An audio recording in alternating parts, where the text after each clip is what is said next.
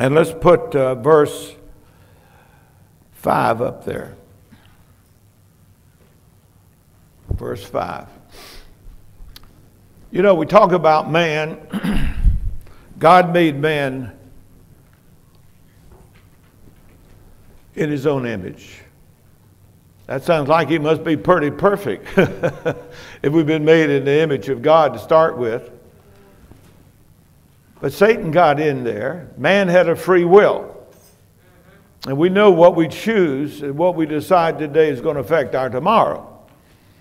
So anytime you go into an investment or you go into anything or do anything or make a decision on anything, you always have to consider how will it affect your tomorrow. For what we sow today will come up tomorrow. Because we reap what we sow. So when you learn that principle, then you start sowing good seed. And then you can know what's going to come up in the future. You follow me there? That's important. When decisions you make, make sure you make good decisions because there's a consequence to every decision. We learned that in school, didn't we? Effect. And what else? How did that go down? That's right. Effect, cause and effect. Yeah, it's coming in. Sometimes my computer takes a little while to get up on the screen. Cause and effect. You can dislike it if you want to, but that's just the way it is. And the quicker we gear our minds and our hearts to understand that, then the better off we're going to be. But I want you to read this scripture now. For it was not to angels that God subjected the habitable world of the future of which we are speaking. Now, stop for a moment. If it was not to angels that God subjected the habitable world of the future to, who did he subject it to? Somebody tell me. Everybody say, me, man. All right? Next verse. It has been solemnly and earnestly said in a certain place. Now remember, it is written, it has been said in a certain place, meaning in the Old Testament, because they didn't have verses and chapters. Everybody understand that? So, if you can't remember the verse, I tell Susan, it is written. Or she can say, in a certain place, it is said. How many understand what I'm saying? All right. Let's read on. What is man, and that's woman too, that you are mindful of him? Let's stop for a moment. What are you? What am I? Now think for a moment.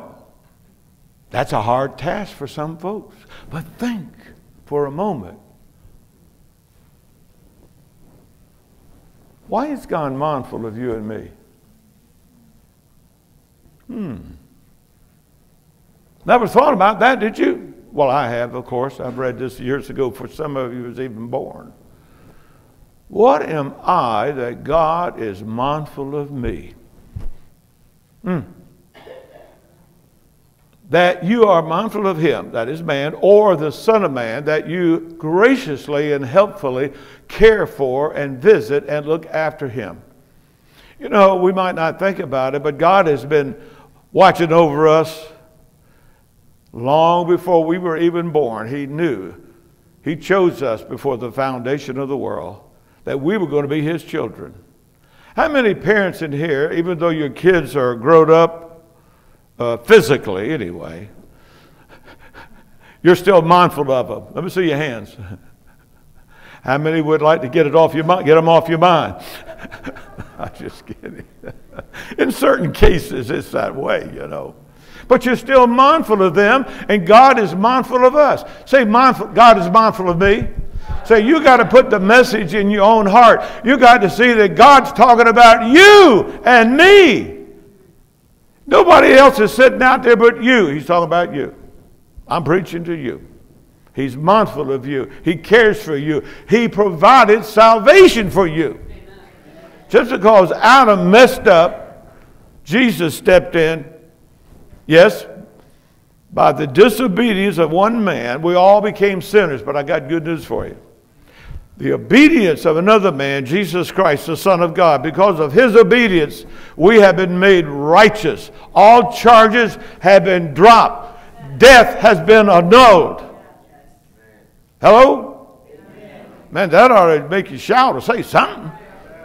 Jesus said, He that believeth in me shall never die. Do you believe that? He that believeth in Jesus Christ shall never die. You shall never die.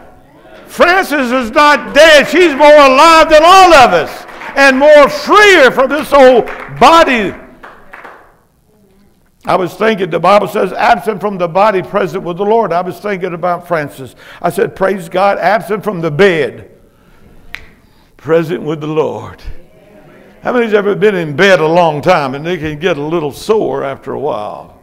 Absent from the bed, present with the Lord. Hallelujah. Boy, what a great message. No wonder the Hebrew writer said, How shall we escape if we neglect so great a salvation?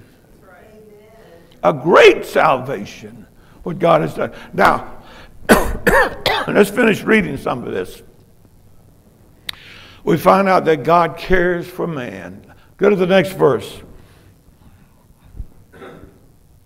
It, for some little time, you have ranked him lower than and inferior to the angels. You have crowned him with glory and honor and set him over the works of your hands. Now, stop and think and get into the scriptures and see what God is saying there. For a little time now, you have ranked man a little lower than the angels. How many of you know we shall judge angels one day? Yes. We shall judge angels and the world one day. Right now, we're a little inferior to the angels.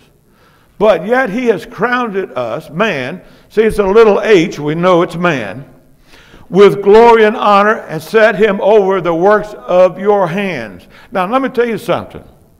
God has got a lot of confidence in us if he has set us over his works. Think about it. Powerful thought. Powerful thought. He has set us over the works of his hands. That's how mindful he is. That's how much he loves us. I think of some ministries that have sons, and when they pass away, their son takes over the ministry. That's good, that's wonderful.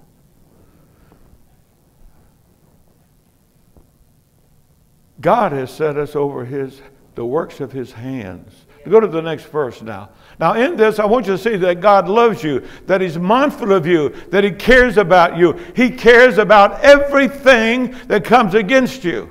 But I'm here to tell you He's given us power over all the powers of the enemy, and we have to come to that realization. We don't have to tiptoe through the tulips. We can stand as men and women of God with the power of God that's been invested into us by our Heavenly Father. But there's some negative mental demonic thinking that has to get out of our brain. That's why our mind has to be renewed because you and I will be transformed. How? By the renewing of our minds. When we understand how much God loves us, God's given us power. You don't have to take a lot of that junk the devil puts on you. I've had people over the years in, in, our, in the ministry and, and, and call me up on the phone and tell me how horrible I am and this type of thing. Well, bless their little hearts. I love them. I bless them. I remind them, vengeance is mine, saith the Lord. Oh, my goodness. What does that mean to you? That means God will take care of it. That's why I say, oh, Lord, have mercy. Pray for your enemies because God's going to ring them alongside ours because he's mindful of his children. You don't mess with his children, devil. Some of them don't know but I've given them power over all the powers of the enemy. But they have to learn to open their mouth and they have to learn to speak. They have to learn to pray. That's why they come to church. That's why Pastor Bob tries to teach them. For we fight not against flesh and blood, but against principalities and powers. How many in here has ever seen a demon? There's one, two, three, four. I have. Wake up sometime. Oh, you again. Turn over, go to sleep. Don't you remember, Satan? You were defeated at Calvary. God pulled your teeth at Calvary. Yeah, you, you got a weapon, deception. Deception deceives people and making them think that he can control them. But see, when you learn God's word, when you learn that God is mindful of you and He's not left you down here as orphans, but He has made you sons and daughters of the living God, He has invested His power in you. Paul made it very clear the power is not of these vessels, but it is of God that operates within us. But we have to learn how to shoot the gun. I trade my 22 in for a submachine gun now. When the devil comes at me, it is written. Little extra bonus. Yeah, we fight. Some Christians don't fight. They just lay there and just let the devil just. I'm not kicking. I was there at one time too. Then God spoke. He said, How long are you going to lay there and let the devil walk all over you, son? What do you mean, Lord? Get in my word and find out what I put in there for you. So I started becoming a student of the word. Reading it and reading it and reading it and reading, breaking down the words. For you have put everything in subjection under Bob's feet. Put it personal. Put your name in there. For you have put everything under your feet. Everything, son. Everything. Everything. that was love, you know. Just love. Better watch out when I turn my back. Bow! No, he wouldn't do that.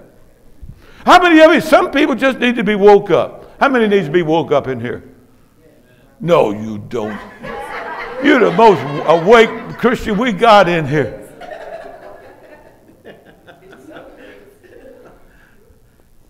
For you have put everything in subjection to the church. It's all under your feet. That's why I like to dance. Oh, you like that, devil? Woo! This is what God has done. He done it. Some of you are looking like.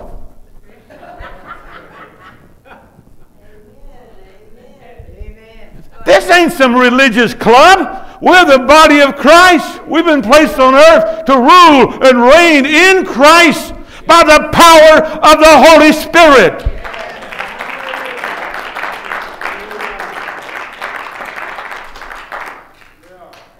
And you know where the biggest battle is, right between your two ears. Beep, right there.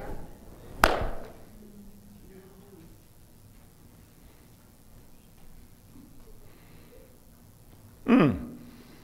Now, putting everything in the subjection to man, he left nothing outside of man's control. This is some new, this is some new teaching to some of you. Yeah, uh huh. See, that'll mean nothing to you until the revelation hits you. And when the revelation hits you, you go, oh! Wow, all these years I let the devil run over me. Where's he at now? I used to get up man, where's the devil at? Now I get up and say, where's the devil at? I'm going to turn him wrong side hours.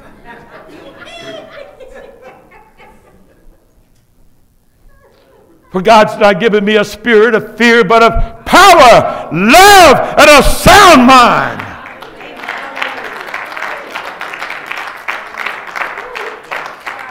Well, Bob, you have to holler? No, but I certainly enjoy it. He left nothing outside of man's control, but at present we do not see all things subject, subjected to him. Oh. Go to the next verse. So that's where we're at. But we are able to see Jesus, who was ranked lower than the angels, just like us, for a little while, crowned him with glory and honor because of his having suffered death. Say, you will never suffer death. I think, wake her up. I think she's dying right there. Are you awake? Yeah, yeah, you awake? Just close one eye. It's okay. Keep one open. Yeah, there, you go. Yeah. Look, do you need prayer?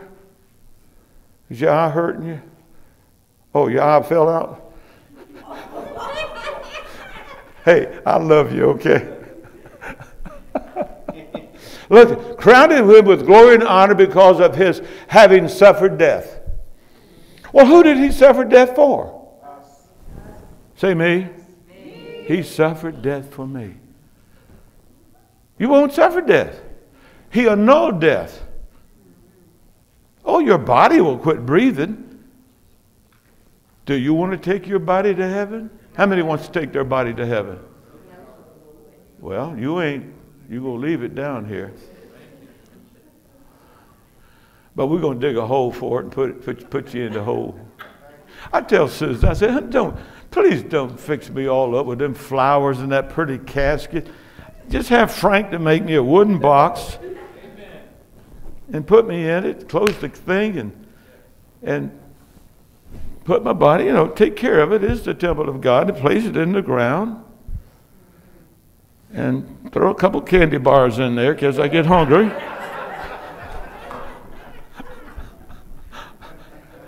All right, in order that by the grace, unmerited favor of God to us sinners, he might experience death for every individual person.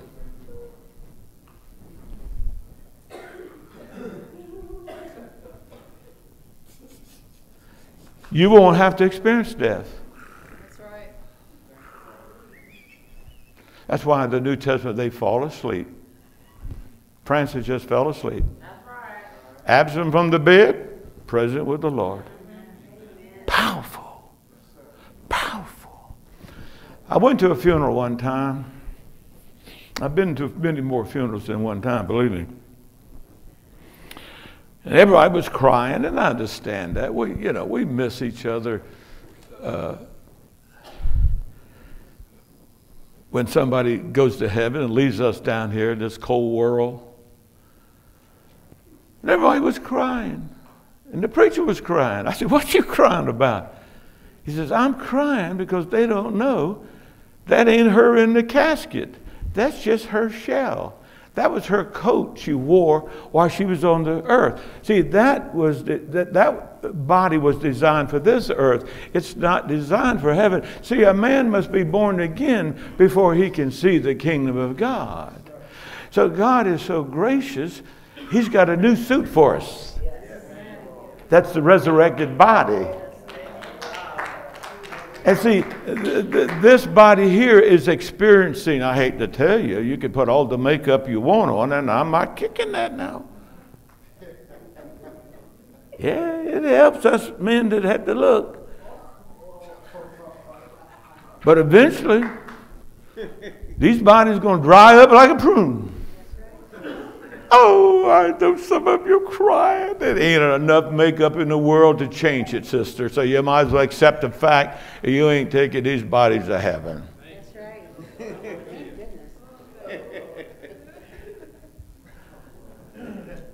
I tell Susan, put as much you can on your baby. I know somewhere behind all of that is my wife.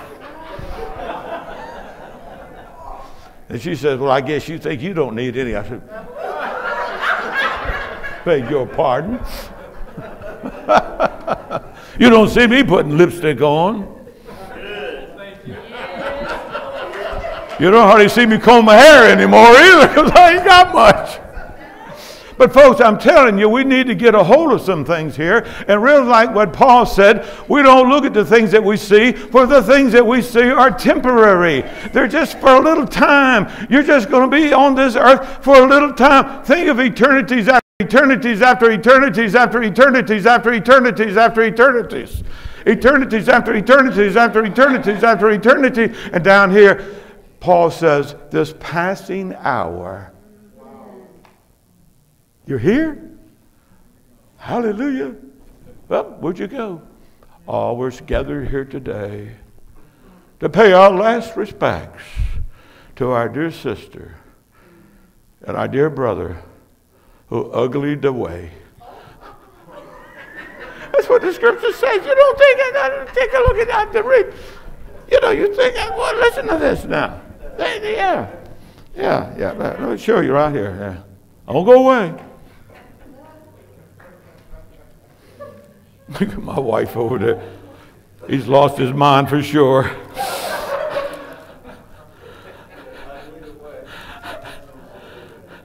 now I forgot that where I found it. I got it. I got it. I was reading this the other day, I tell you.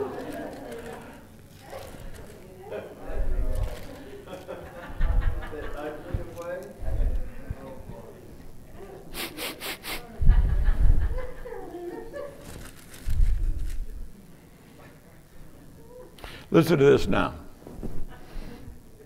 Therefore, we do not become discouraged.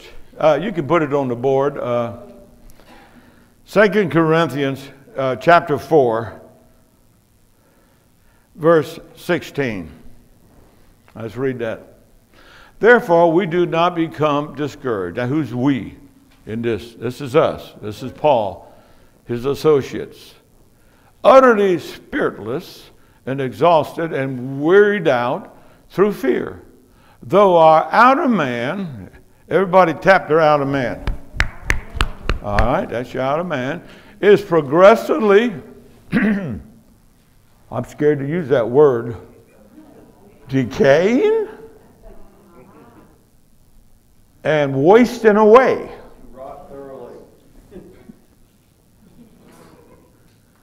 I don't care how much makeup you put on.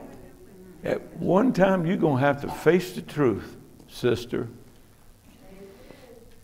That good looking face you got is decaying. Boy, what a message. What an encouraging word. and wasting away. oh my goodness. Yet our inner self is being progressively new, renewed day by day. So I think it's probably uh, behooves us to spend more time making sure our inner man is strong and fed with the Word of God. Because he's going to last forever. Let me tell you something. As a, the Bible says, as a tree falls, somebody help me with that. So as a tree falls, there it is. It ain't to get no prettier just how it falls, the growth you have in Christ, that's it. And you have to spend eternity with that new man that still might be a little baby because you didn't feed it spaghetti and meatballs and chili and moon pie. Yeah, and Hargy burgers. So think about it for a moment. As, oh, don't forget ice cream. As the tree falls, that's it. If it's a little tree, it's going to stay a little tree. If it's a big tree, it's a big tree. So this is the time to get that inner man being renewed day by day, progressively renewed day after day, stronger and going into the image of God. How many of you understand what I'm saying? I know I'm using uh, a little humor in this message, but sometimes you can digest it better. So, the last time you looked into the mirror, and I want you to be honest now. How many of you in here, when you look in the mirror now, You look like you're wasting away. Let's see your hands. Some of you would admit it. you're a fine young lady. You know that. you're a fine young lady. oh my goodness. Charles, you're wasted away, son. I'm sorry to tell you. uh, I won't, we won't tell Rachel. Yeah. How many looked at in the mirror and you're a little different than you were 20 years ago? You know, I think this word is right. I remember when Susan, she was 19 years old, almost a little baby I robbed from the, from the cradle, 19 years old. She looks different now than she did then.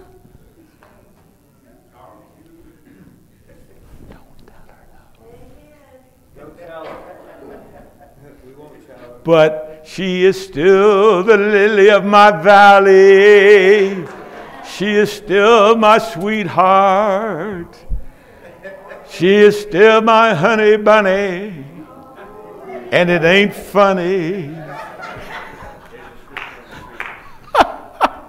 See, I know her inner man that's progressively being renewed, being renewed every day. And when I look at her now, whoo, Mama Lou.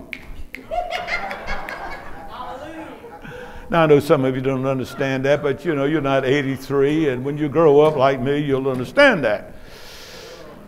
That you're I'm still in love. I tell people I'm in love with my wife, I love my wife, and I got something else to tell you. I like her.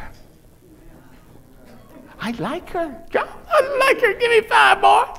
Ooh. I like her. Everybody look at your mate say, I like you.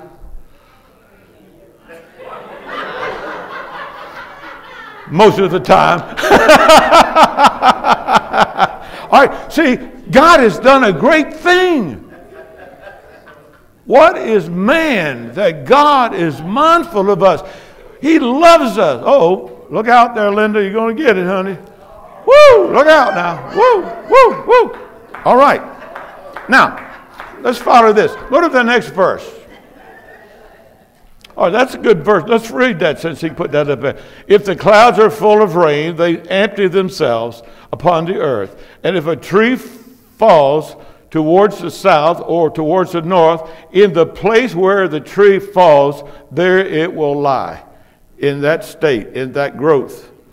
Okay? All right, go to the next verse, Second Corinthians, and we'll go to uh, 4. 4 17. Oh, this is good. We've got about 10 minutes and we'll let you go. Now, for, now notice this. You say, well, you know, I'm really in a strait. I'm in a difficult time. This too will pass. Amen. How many's ever been in a strait? Yes. Yeah. I won't go that way. Okay. For our, Paul said, now listen. For our, even though you're wasting away, you're decaying every day, your outer man is. But remember, your inner man is progressively getting stronger and stronger. That is, if you're feeding it. Now, for our light momentary affliction, how many has ever read Paul's life? He's calling all of that light affliction. Beaten 40 times with a whip, that don't sound like that's too light to me. Shipwrecked. And all kinds of things happened to Paul. Put in jail. Beaten. Look, this slight distress of the passing hour, we're just all passing through. Hate to discourage you. Just passing through this passing hour. Oh my goodness, I thought I to be around forever down here. No, it's just a passing hour. I don't care how young you is or how old you is. You're just passing through. Thank God. Because when we get to heaven, it will be forever in a glorified body. And I got news for you. You'll be able to eat too. Somebody say, Ooh, yeah, ice cream and cake. I love that. Collard greens, my favorite collard greens. Look what it says. Is ever more and more abundantly preparing and producing and achieving for us an everlasting weight of glory. Everything you're going through. Oh, that don't make sense. And remember, God don't think like us. His ways and his thoughts are far beyond our thinking. Everything that we've gone through, and we've all, many of us have gone through some tough times. But Paul says, light affliction, light affliction, but it's achieving for us an everlasting weight of glory. Beyond, notice this, beyond everything that happened to us, it's, it's, it's achieving a, a greater weight of glory, beyond all measure, excessively surpassing all comparisons and all calculation, a vast and transcendent glory and blessedness that never to cease. Whew. Man, I can't hardly wait till this life is over. Can you? Mm. Not many people take me up on that.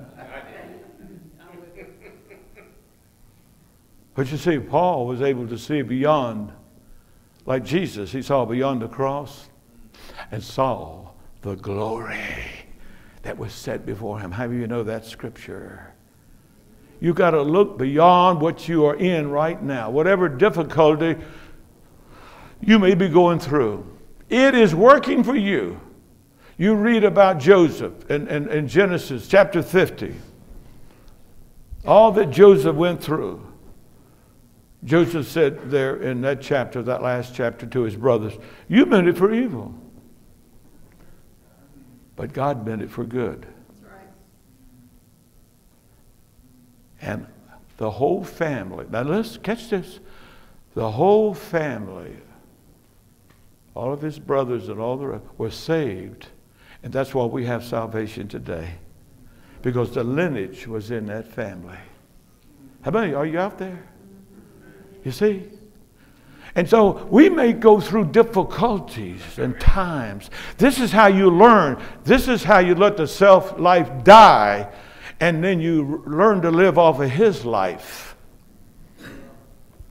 Always bearing about in the body, these bodies, the dying of the Lord Jesus Christ. Why? That also that the life of Christ might be manifested in these mortal bodies. How many of you know resurrection comes before death? Catch me, Willie. Got me. Oh. The cross. Death, the cross. Then, oh, the resurrection. See, God's thoughts are different than ours. Unless you understand that principle, some of the things you are going to through is killing that self life that you love, we all love so well. See, I, I, I, I, I, think this and I think that. Well, let me tell you, when the cross is through with you, you won't think anything but Jesus. You'll be like the, you'll be like Jesus. I don't do anything except the Father tells me to do it. That's real Christianity. Hmm. Look at that. wow. Go to the next verse now. Now catch this. Next verse. Since we consider and look not to the things that are seen. Uh, can you put yourself in that? Are you part of that we? Since we at the shield consider and look not to the things that are seen, all that difficulties you might be going through, but to the things that are unseen which are eternal, by the way. For the things that are visible are temporal. brief and fleeing. But the things that are invisible are deathless and everlasting. These spirits of ours that we don't see is eternal. You don't have to worry about death. You don't have to worry about, just like Frank said, he saw us, and I've seen my mother and, and, and people, my uncle, different people just quit breathing. Just as quiet and wonderful. And, uh, and then we wonder, why do we struggle with that? Why do we still have fear? You read in Hebrews that God took the fear that we don't have to fear death because you ain't going to die. Because you see, for God so loved the world that he gave his only begotten Son, that whosoever believeth that him should not perish, notice this, should not perish, but have everlasting life. How many believe that in Jesus? Or you have everlasting life. Your life will never end. I said, You have, you have everlasting life. So, what is there to fear? Somebody go, Nothing to fear.